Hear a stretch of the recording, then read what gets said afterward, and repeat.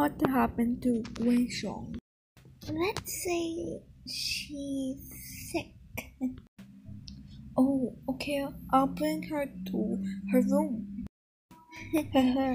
Mission accomplished.